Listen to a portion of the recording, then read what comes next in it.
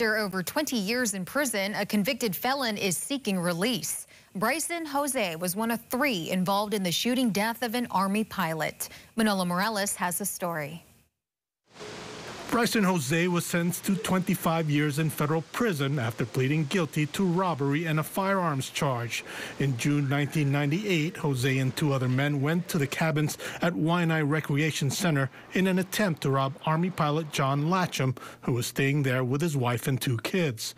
Latcham was shot with a rifle and died. His widow spoke out during the court hearings more than 20 years ago. He was a great dad, great husband, and um, he didn't deserve this.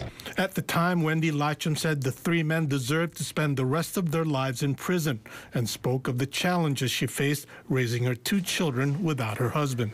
Because it makes them sad if I'm sad, and so I try not to be sad around them. Jose was released two years ago after serving 23 years. His attorney said Jose had been on supervised release when he violated the conditions by drinking alcohol.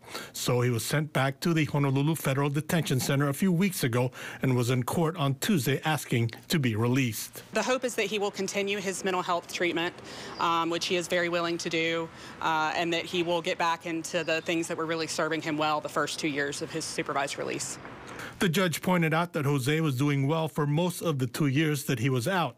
If he continues to get mental health treatments and is able to stay with his sister, the judge said she is willing to put him back on supervised release.